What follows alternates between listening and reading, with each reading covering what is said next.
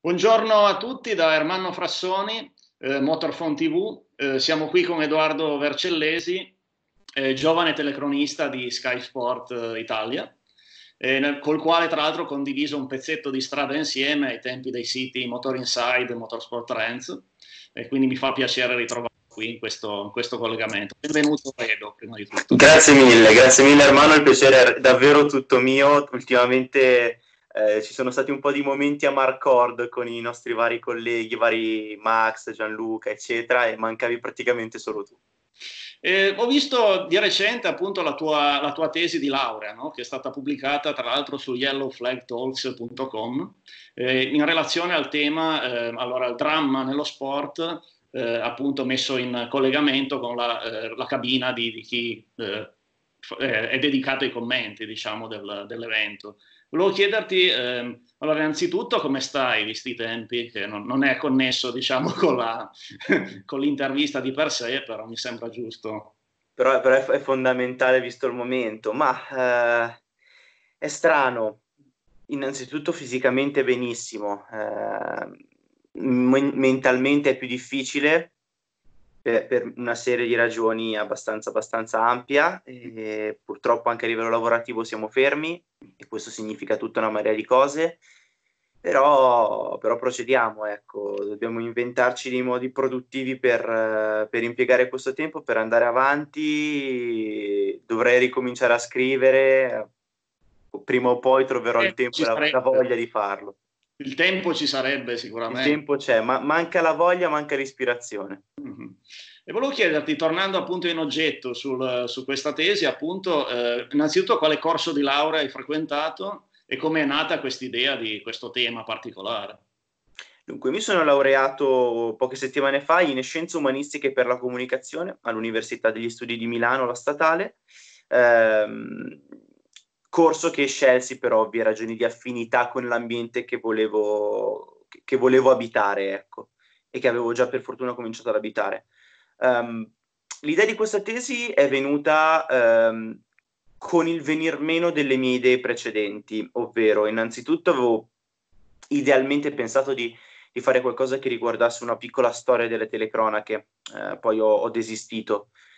Avevo pensato di fare un'analisi con un professore um, su come fosse cambiato nel corso del tempo il linguaggio utilizzato nelle telecronache, ma il professore non aveva più spazio per, per avermi con, con, lui. E poi, eh, dopo l'incidente di Antoine Hubert, eh, più e più volte con degli amici, tra cui Mattia Sabino e Lorenzo Michetti di Hello Flat Talks, eh, ci è capitato di parlare del fatto che eh, progressivamente nel corso del tempo si tendesse sempre più a censurare le immagini degli incidenti più gravi, ma degli incidenti in generale, non soltanto di quelli più gravi, e quindi come fosse cambiato il modo di trattare nel corso del tempo. E ho pensato perché non provare a farne un discorso. Eh, è relativo al mio ambiente, riguarda un po' anche il mio lavoro, perché riguarda anche appunto la cabina di commento, oltre che le immagini, e quindi ho pensato che fosse un argomento originale, eh, mai trattato, eh, almeno credo, eh, che potevo affrontare utilizzando buona parte anche della mia esperienza personale e dei miei contatti per avere anche delle opinioni esterne, di pareri esterni con diversi colleghi che mi hanno dato una mano e poi eventualmente eh, ra- racconterò anche questo. E quindi ho trovato un professore che, che peraltro è molto appassionato di motori e anzi negli anni 90 scriveva con Max Temporali, il mio attuale compagno di telecronache, ma questo l'ho scoperto ah, soltanto perfetto. dopo. Quindi era il mio uomo, era assolutamente il mio uomo e gli ho proposto questa idea, mi sono fatto dare il contatto, guardi profi, voglio fare questo, questo, quest'altro, ha accettato ed è andata molto bene. Ho capito. E volevo chiederti invece in relazione proprio al discorso della percezione della morte, che è molto cambiata nel, nello sport, soprattutto nel motorsport con gli anni. Eh, adesso, in un certo senso, dal mio punto di vista, eh, succede un evento drammatico eh, e viene visto come quasi qualcosa di inaccettabile, no? come si può dire, sia mediaticamente che penso umanamente, mi auguro. Eh, mentre invece un tempo non era così. Quindi volevo un po' cambi- chiederti cosa è cambiato forse nella società per arrivare a questo, a questo punto. Ecco sì, nella, nello stralcio diciamo di, di, di tesi che è stato pubblicato che racchiude buonissima parte del secondo e del terzo capitolo della mia tesi, sostanzialmente quasi, quasi intatto, se non per, diciamo, abbiamo tolto quelle che erano le, le spiegazioni delle dinamiche e quelle cose che a un pubblico mo- appassionato di motorsport erano più chiare. Ovviamente era un discorso che ho dovuto fare a livello accademico anche per dei personaggi meno avvezzi al motorsport. Manca tutto il primo capitolo che invece era un'analisi della società, un'analisi sociologica di come nel corso del tempo sia cambiato il modo eh, di ehm, intendere e interpretare la morte proprio nelle comunità umane. E secondo un professore di, di sociologia, che mi, mi, pare fosse il professor Codelupi, ma potrei, potrei errare, quindi non, non ricordo precisamente, ma si, qualcuno sosteneva che fosse cambiato questo, questo modo di approcciare la morte e il dramma in generale perché la morte non eh, combacia con le promesse della società dei consumi. E dunque sia sempre più in conflitto con eh, le, le promesse, con il progresso, con eh, i miglioramenti dal punto di vista medico, della, del tenore di vita, della qualità della vita. Dunque c'è una premessa di tipo, di tipo sociologico, appunto a cui chiaramente dal punto di vista motorsport aggiungiamo il fatto che la sicurezza abbia fatto dei passi da gigante mm. negli ultimi 25 anni, specialmente partendo dall'incidente di Ayrton Senna. Mm, certo, poi di lì ti chiedo qualcosa in seguito. Volevo chiederti riguardo sempre eh, proprio al tema eh, motorsport e dramma nel motorsport. Eh, occorre sempre che succeda qualcosa, secondo te, di grave perché poi si capisca che bisogna porvi in rimedio? una cosa che non riguarda solo le corse, però... Guarda, è un discorso ampio e complicato questo, perché... Mm, tu come la vedi, il tuo parere, ecco. Allo- allora, io penso che non sempre sia facile eh, anticipare gli eventi e dunque non sempre sia facile rendersi conto che nello status quo ci sia qualcosa che possa non funzionare nel momento in cui lo status quo non ti mette al riparo da un evento luttuoso, drammatico, a quel punto hai una chiara evidenza del fatto che c'è qualcosa che va cambiato. Quindi quello che penso è che da un punto di vista estremamente mh, direi pragmatico e, ed evidente sia difficile riuscire a, ad essere eh, un passo avanti rispetto ai tempi e quindi l'evento sia effettivamente ciò che ti fa rendere conto della necessità di cambiare qualcosa o meno. Ho capito. E volevo chiederti, andando appunto a esaminare un po' quello di cui tu parli diffusamente, il Gran Premio di San Marino a Imola 1994, che comincia appunto il venerdì eh, con l'incidente di Barrichello, poi l'incidente mortale di Ratzenberger il sabato, domenica sappiamo eh, Senna, e volevo chiederti un po' quali conclusioni hai tratto nella, per quanto riguarda la gestione televisiva, mediatica, appunto della cabina di commento in relazione a questo weekend così drammatico, così difficile. Allora, eh, ciò che ho potuto, potuto, constatare, grazie anche al, al, grandissimo lavoro che ha fatto Mattia Sabino di Yellow Flag Talks per quanto riguarda la, la, la ricerca delle immagini e, e, e, lo ringrazio chiaramente per averle messe a mia disposizione. Quello che ho potuto constatare è che effettivamente all'epoca la sensibilità nei confronti del pericolo e del dramma era molto diversa. La... Per quanto non, non avvenisse una morte nel campionato di Formula 1 dall'82 da Riccardo Paletti e poi a Elio De Angelis, ma in, fu nel corso di un test, quindi fu un evento un po', un po differente ci si era un po' in, in, un certo senso disabituati al fatto che potesse succedere qualcosa del genere. E, ehm, e quindi mi viene da pensare che chi ha gestito in quel momento immagini, regia e tutto il resto, diciamo, non fosse preparato a una, a una mole di dramma eh, del genere. Detto questo, però, credo che sia importante sottolineare anche come all'epoca, e questo è un parere che ho, ehm, diciamo, ritrovato anche nell'intervista che ho fatto per questa tesi a Gianluca Guiglia, nostro ex collega di Motorsport Trans, ehm, nonché grande esperto di, di, di NASCAR. Credo che all'epoca ci fosse una tendenza molto diversa dal punto di vista della gestione delle immagini e di ciò che fosse giusto e sbagliato. C'era una visione molto più documentaristica all'epoca, ovvero um, tutto ciò che avveniva in presa diretta, tutto ciò che quelle, tra virgolette, poche telecamere che si avevano a disposizione potevano mostrare, fosse giusto poi, insomma, portarlo, portarlo all'attenzione dello spettatore. E dunque notiamo effettivamente un approccio molto documentaristico, ovvero con telecamera fissa che rimane sempre sul luogo dell'incidente, sia nel caso di Barricaro che nel caso di Ratzenberger che di Senna.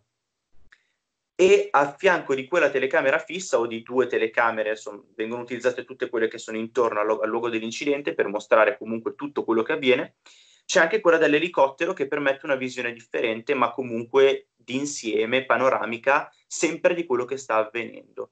E quindi tutto quello che viene mostrato mostra la concitazione del momento e mostra la crudezza del momento, perché non vengono risparmiati dettagli assolutamente um, esecrabili con il gusto di oggi, ma che all'epoca erano normali, diciamo. Eh, si, si, nota si è visto tanto, secondo me. Si cioè. è visto sangue. Troppo, sì, cioè. Si è visto sangue, si è visto Senna che moriva in diretta spostando la testa l'ultima volta, uguale Ratzenberger. Oggi non accadrebbe. Oggi mm. non accadrebbe. E volevo chiederti, eh, in relazione sempre a quel weekend, prendendolo come esempio, eh, secondo te quanto può essere difficile per un giornalista, penso a Zermiani, che c'era all'epoca, documentare un fatto del genere, farsi largo in una situazione così difficile, ecco, anche moralmente, no? Dunque, è tanto difficile nel momento in cui ehm, riesci a considerare, nel momento in cui fai il tuo lavoro, quella componente umana che chiaramente è quella più colpita. Devo dire però che nella mia breve esperienza di giornalista a me è capitato di commentare una, un incidente mortale nel 2018 nel CEV Moto 3 con Andreas Perez. Eh, va detto che noi non abbiamo immagini di quell'incidente e abbiamo saputo della morte del ragazzo soltanto la sera. Però da quello che ho, ho avuto modo di, di, di, di, provare, nel momento in cui fai il tuo lavoro è come se fossi in una specie di, bolla. Eh, è una cosa che si chiama flow dal punto di vista psicologico, mi, mi è capitato di studiare questa cosa. Entri in questo stato di flow eh, nel quale in un certo senso vai avanti senza una piena coscienza di quello che ti sta avvenendo intorno. Quindi tu fai il tuo lavoro andando avanti nella maniera in cui dovresti fare. È chiaro però, e lo si nota dalle immagini, che Zermiani, così come eh, Voltronieri, non soltanto, erano estremamente scossi da quanto stesse accadendo, perché c'era stato il venerdì, poi c'è stato il sabato, poi c'è stata la domenica, nei vari incidenti della domenica. Quando alla fine del weekend avviene l'ultimo incidente, che è quello di quando Michele Alboreto perde mm. la gomma eh, della sua vettura in pit lane, ricordo, l'avevo visto diverso tempo fa, che Zermiani, eh, se non ricordo male, parlò di, di inferno. Mm. Sembra, sembra, sembrasse di stare all'inferno. Che era comunque fosse una situazione maledetta. Mm-hmm. Quindi sì, sicuramente c'è una enorme difficoltà da un punto di vista più umano che professionale eh, nella gestione del, dell'evento e penso che in quel momento si debba in un certo senso mettere da parte un po' la, la, la, mm, la ricerca della notizia favorendo invece un approccio un po' più, un po più umano. Io ho l'impressione che in quel, in quel, caso, anche per come funzionasse la cosa ai tempi, Zer- Zermiani fosse stato abbastanza, abbastanza, invasivo nel suo modo di intervenire, cercando di parlare con il dottor Piana e non soltanto. Quindi quindi sì, è molto complicato mm. per, eh, dal punto di vista umano, giornalistico e soprattutto etico. Ho capito. E volevo chiederti, passando un attimo invece alle moto, eh, penso all'incidente eh, di Marco Simoncelli nel 2011 a Sepang, e volevo chiederti in relazione a questo se ci sono delle differenze, per esempio, tra auto e moto, cioè già nelle telecronache ci sono sicuramente, come ben sai, di, sì, sì, sì. Adesso vabbè con Vanzini abbiamo un po' più di, però comunque si mantiene una certa differenza secondo me tra Meda e Vanzini, esempio. Eh, però volevo chiederti il tuo parere, ecco, cosa mi dice a riguardo. Allora, riguardo all'ambito puramente degli incidenti, e prendo ad esempio Simoncelli, ma potrei cominciare da Cato. Tra l'altro, oggi, 20 aprile, sono 17 anni dalla morte di De Giro Cato. Um, quello che ho notato eh, nelle ricerche che ho fatto per la mia tesi è che tutto è partito dalla Formula 1 con l'incidente appunto di, di Varisena Ratzenberger e, e Barrichello, con il weekend di Imola, insomma. E quindi le tendenze, le nuove tendenze sono state dettate dalla Formula 1.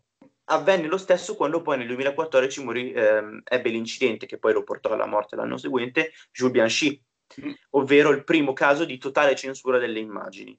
Esatto. Eh, è la Formula 1, essendo il campionato più grande e che attira il maggior numero di investimenti, a dettare le tendenze. Quello che ho notato è che le moto ci hanno messo più tempo ad adeguarsi, perché eh, già nel caso di eh, Massa, per esempio, ci fu un'attenzione particolare, ovvero venne mostrato molto tardi il primo replay, eh, non venne mai inquadrato il pilota durante i suoi soccorsi, eccetera. Con Simoncelli, due anni dopo, abbiamo avuto comunque una forte insistenza sui replay dell'incidente, e, um, un, partendo subito dopo lo schianto da una visione aerea eh, dall'elicottero nella quale si vedeva Marco steso sulla pista senza il casco, seppur da lontano. Quindi quello che ho notato è specialmente questo, che il motomondiale, e non soltanto, ci hanno messo più tempo per recepire le nuove tendenze, i nuovi dettami eh, proposti dal mondo delle quattro ruote. Ehm, adesso sostanzialmente siamo nello stesso ordine di idee perché non esistono immagini dell'incidente di Luis Salom nel 2016 a Barcellona quando il povero pilota spagnolo perse la vita eh, e l'esempio che più mi ha colpito perché non è un incidente mortale in alcun modo è quello dello scorso anno a Silverstone quando alla prima curva eh, Fabio Quartararo scivolò e Dovizioso decollò sostanzialmente sulla sua Yamaha.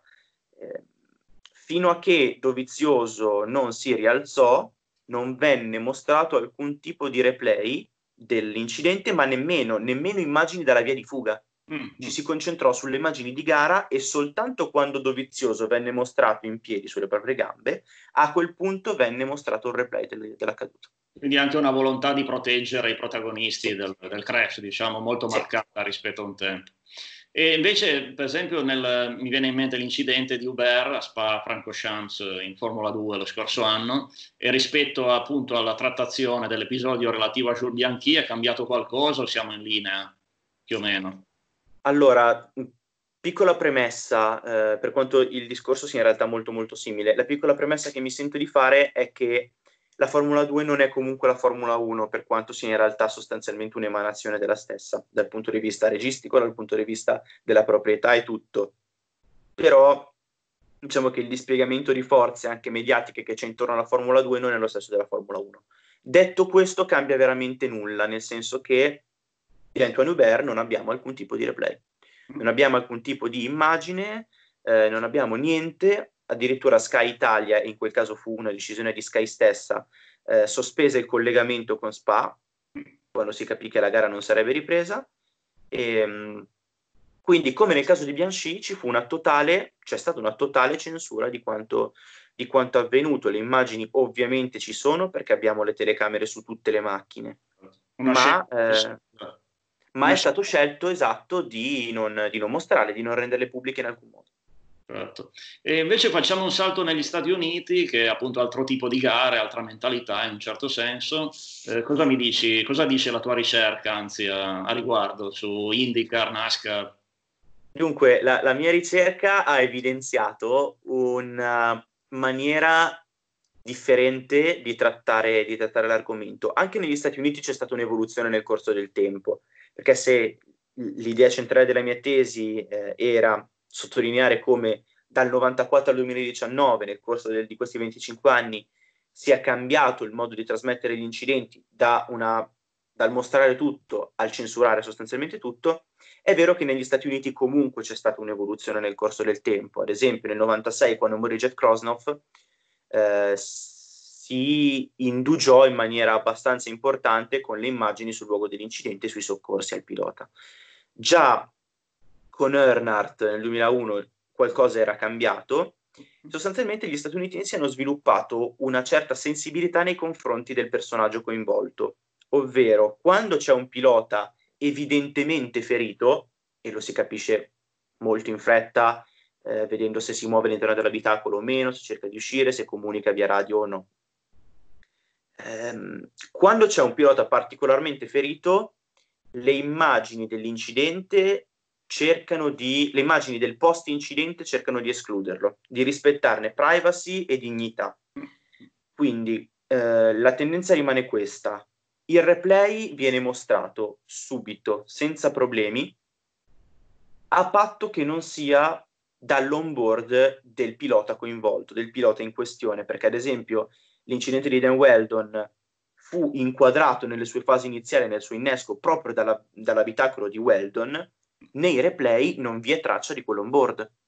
Vengono utilizzate soltanto altri onboard, tra cui quello particolarmente cruento di Will Power, ma insomma per fortuna Power ne uscì senza, senza problemi. Um, quindi i replay vengono utilizzati in maniera molto, molto ampia e molto insistente in un certo senso, ma mai dal, dalla prospettiva del pilota coinvolto. Uh, vengono utilizzati tanti replay diversi per spiegare per filo e per segno la dinamica e anche per fare un discorso sulla sicurezza, perché chiaramente permette di capire cosa c'è da cambiare e cosa no. Nel post incidente le immagini dei soccorsi vengono trattate in maniera molto chiara, ovvero mai in primo piano, sempre da lontano. Il primo piano viene riservato soltanto ai piloti illesi. E, mh, detto questo, quindi c'è una netta sensibilità nel trattare chi è ferito, però c'è anche una tendenza comunque a calcare la mano sulla, sull'accaduto, ad esempio i cinque giri di pista fatti quando si, si seppe che Weldon, che Weldon, era purtroppo morto. Eh, quindi c'è quella tendenza spettacolare hollywoodiana nell'approccio americano che però si compenetra con una sensibilità nei confronti di chi, di chi si è fatto male. C'è, c'è, un po' l'idea di andare avanti, cioè sì. lo spettacolo deve andare avanti, come si sì. dice. E, e, onestamente credo che sia un, un, buon compromesso tra il mostrare tutto e non mostrare nulla.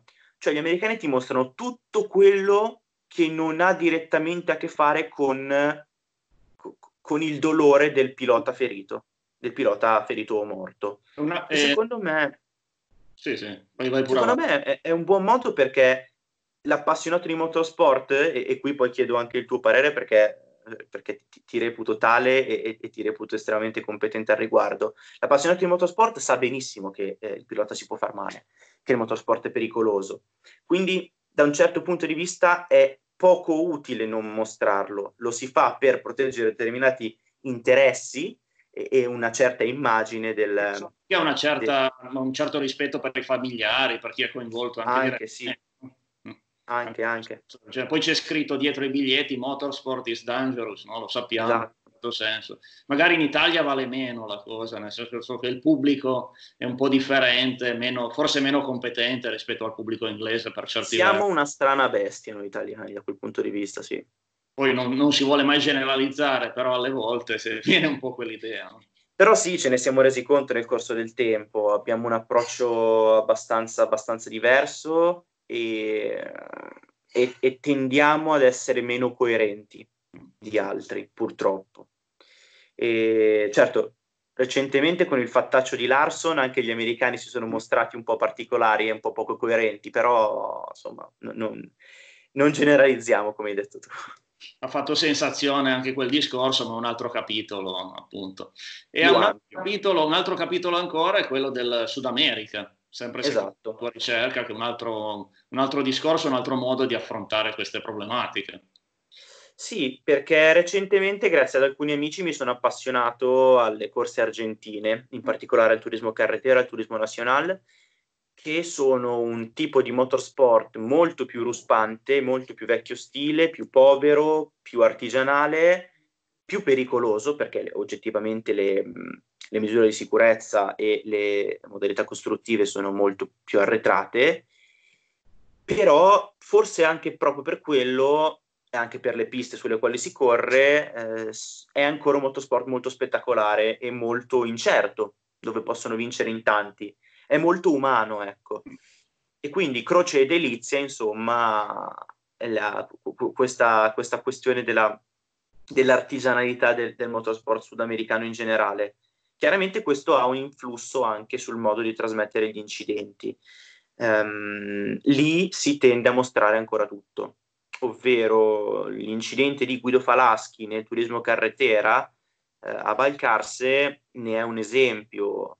Attorno al luogo dell'incidente, mi pare fosse il 2011, ma adesso non vorrei sbagliarmi, attorno al luogo dell'incidente si radunò una folla enorme di curiosi, di spettatori, di fotografi, di giornalisti, con ehm, i piloti ancora, ancora, in gara che passavano dietro safety car per entrare, entrare ai box perché la gara era chiaramente stata interrotta, ma passavano lì a fianco e a momenti non riuscivano ad evitare i mezzi di soccorso e le persone in pista. Cioè, è una situazione che con un occhio europeo impensabile è impensabile ed è da principianti, cioè sembra veramente una gara organizzata dai principianti, però lì le, le, tendenze sono diverse, si fa tuttora invasione di pista a fine gara, sono modalità molto diverse e appunto eh, c'è una forte insistenza su quello che avviene. Me ne parlava Rosario Triolo, mio collega a Sky Sport, eh, loro non si preoccupano di, certe, di, certi fronzoli, un po' perché hanno un'abitudine al, al dramma, anche per un discorso di criminalità e di società, molto più, un'abitudine molto più forte rispetto a noi e quindi si preoccupano di meno.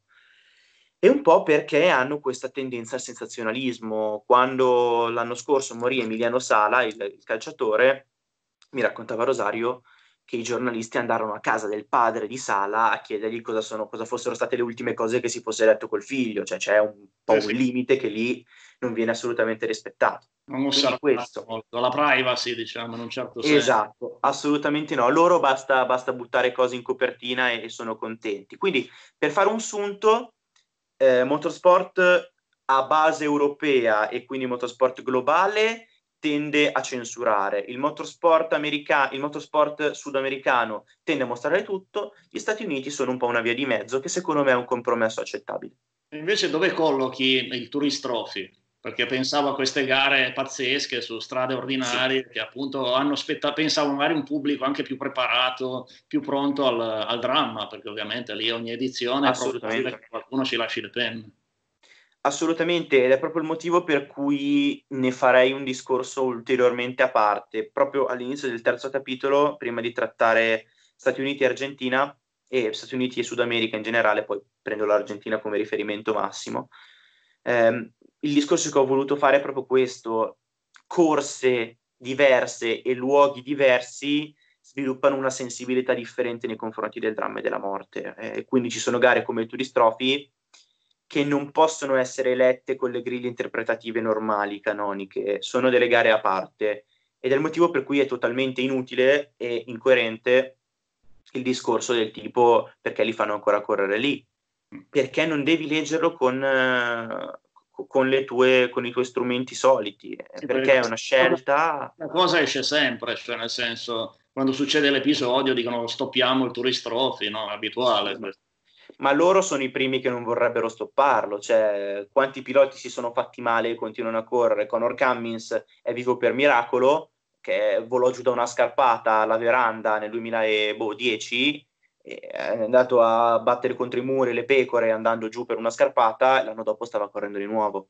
Cioè, è proprio un discorso che esula dal normale motorsport, mm. dal motorsport pista e quindi, e quindi, va completamente separato come argomento rispetto, rispetto, al resto, ti direi. Tra l'altro mi raccontavano che eh, proprio per questo motivo anche la gestione degli incidenti è diversa.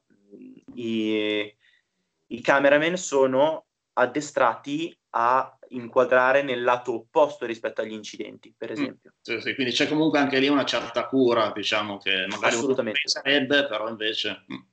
Assolutamente, proprio perché è un argomento molto, molto d'attualità e perché avviene spesso, eh, proprio per questo appunto si cerca di, di reagire in un certo modo. Vorrei concludere con un excursus eh, sul mondiale Superbike, che sappiamo che è iniziato appunto a Phillip Island in uh, Australia e poi adesso per ovvi motivi è tutto fermo. Eh, ho sentito che eh, però hanno bisogno di spettatori per fare le gare, nel senso che a quanto sembra gli introiti sono fondamentali, no? gare a porte chiuse, tu come la vedi? Difficile? Allora, assolutamente sì, mm, perché mm, l'introito dal, dal pubblico è ampio. In Superbike molto meno rispetto per esempio alla MotoGP perché fa meno gare e perché purtroppo uh, attira meno, meno spettatori. Però Dorna in questo momento, eh, ed è un discorso che facevo recentemente con alcuni amici e colleghi, eh, il, il, problema è che Dorna, che, gest- che, è il promoter che gestisce sia Moto Mondiale che Superbike, si trova in una situazione terrificante, nel senso che deve aiutare tutti coloro che in questo momento, essendo fermi, non percepiscono, non percepiscono introito. E quindi deve impegnarsi per aiutarli economicamente, ma farlo per un campionato è un conto, farlo per Mm, adesso provia- proviamo ad escludere alcune squadre. Diciamo, se anche lo fai togliendo la MotoGP e i team ufficiali di Superbike, hai Moto 2, Moto 3, Supersport 300, Supersport 600 e i team privati di Superbike. Con un esborso economico enorme. Quindi Dorna ha bisogno che la gente venga in circuito e correre a porte chiuse rischia di essere davvero un bagno di sangue. E riguardo appunto alla Superbike, come vedi i protagonisti, secondo me, chi potrebbero essere quest'anno? Dunque, posto che la gara di Phillip Island fa un po' storia a sé per una serie di motivi eh, e quindi è una gara che secondo me dice molto poco di quello che vedremo quest'anno. Eh, l'impressione è che Jonathan Rai rimanga comunque il favorito perché è l'unico pilota che conosce la propria moto su tutte le piste e in tutte le condizioni. È l'unico che quindi non si troverà davanti a alcun tipo di incognita da un punto di vista, diciamo, di, del proprio pacchetto. Va detto che eh, questo Razgatlioglu con questa Yamaha è interessante, ma bisogna capire Yamaha quanto renderà sulle altre piste. Se sarà una moto competitiva per il mondiale, per andare forte ovunque, vincere ovunque o meno. Eh, il turco ha molta fame e questo sicuramente va dalla sua parte. L'altro grande nome è quello di Redding con la Ducati e bisognerà capire come si troverà. Non è detto però che al primo anno possa già pensare di battere, di battere Ray. Eh, proprio per il discorso che facevo, perché per lui è quasi tutto nuovo. Seppur eh, corra con Ducati già da due anni, abbia vinto il BSB con la Ducati, però non è esattamente la stessa cosa.